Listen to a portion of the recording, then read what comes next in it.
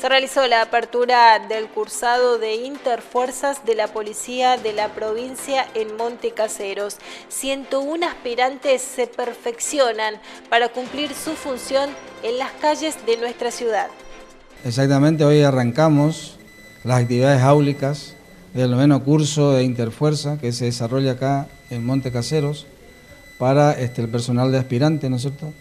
Van a ser eh, una modalidad mixta presencial y vía Zoom, vía Meet. Em, vamos a tener este, talleres y todo lo concerniente a las materias policiales y a las materias de este, derechos, que es eh, lo que nos va a permitir trabajar, capacitar y, y enseñar al futuro policía, ¿no es cierto?, que se va a desempeñar acá en la ciudad. Comisario, ¿cuántos eh, aspirantes eh, concurren desde hoy en día? Estamos con 101 aspirantes, eh, que son la totalidad de la fuerza efectiva, digamos, que hay acá en, la ciudad de Montecaseros. por el momento estamos desarrollando acá la parte académica que gentilmente nos han este, gestionado ¿no a través del, municipio. Eh, por la tarde tenemos actividades prácticas que se va a desarrollar en el complejo que tenemos preparado allá en el galpón del Priar, que son este, conocimientos de arma y tiro, eh, educación física policial, defensa policial, que son todas materias prácticas que necesitamos espacios y este, la comodidad, ¿no es cierto?, del lugar para que ellos puedan desenvolverse y desempeñarse en su, en su práctica, ¿no es cierto?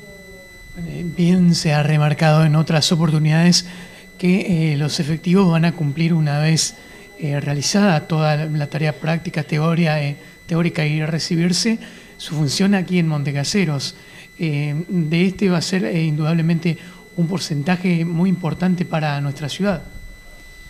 Sí, este, en líneas generales eh, todos van a permanecer acá en la ciudad, ¿no es cierto? En todo el departamento de Montecaseros. Eh, justamente se hizo, se ha tomado esta decisión para realizar local curso.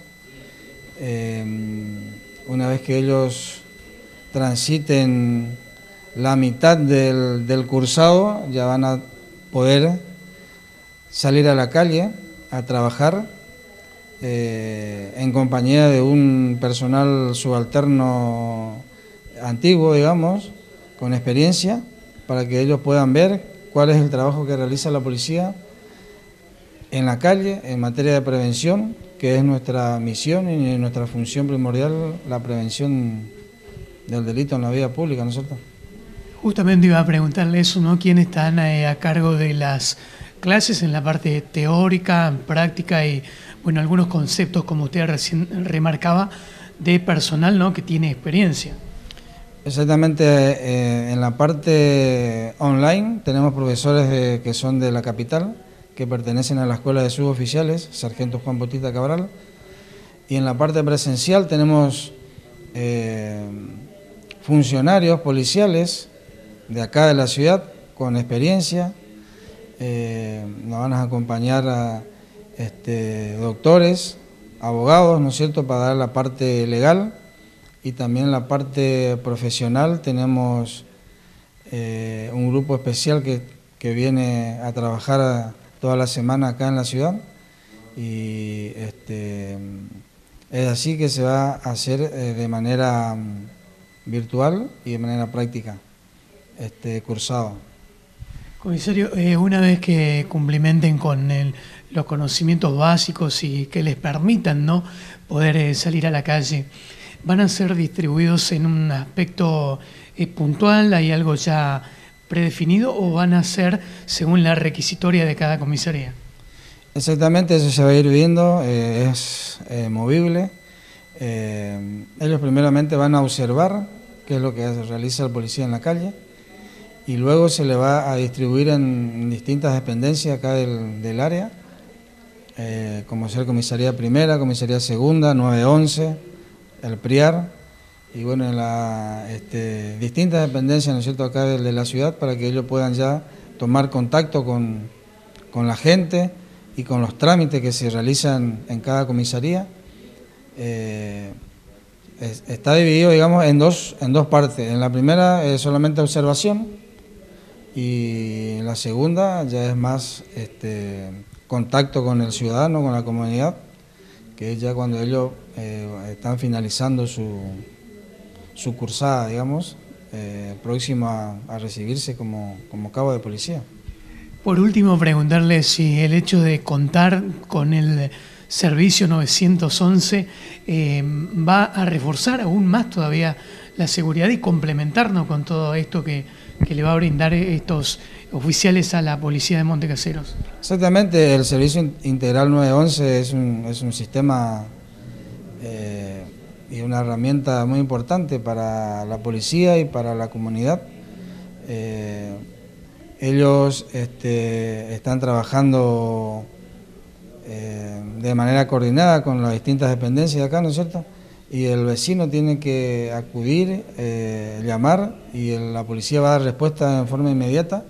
Y bueno, este, estas personas, estos aspirantes, van a ser capacitados también ahí en ese en el 911 para que puedan este, salir y trabajar eh, en forma conjunta con, las distintas dependencias y con la comunidad que, así lo está requiriendo. Bien, comisario, muchas gracias y ojalá que sea muy satisfactorio de aquí en adelante. Muchas gracias a usted por, por, este, por esta nota, por venir hasta acá, por eh, interesarse, ¿no es cierto?, en, la policía y bueno, en la, en la forma que lo estamos haciendo en la capacitación y, lo invito también para que en, los próximos días, en la próxima semana pueda asistir allá en el campo eh, donde están realizando la parte práctica. Eh, así este, entonces tenemos ya un, panorama más completo de la formación que ellos están recibiendo, de la capacitación y cómo se va a profesionalizar a los futuros policías.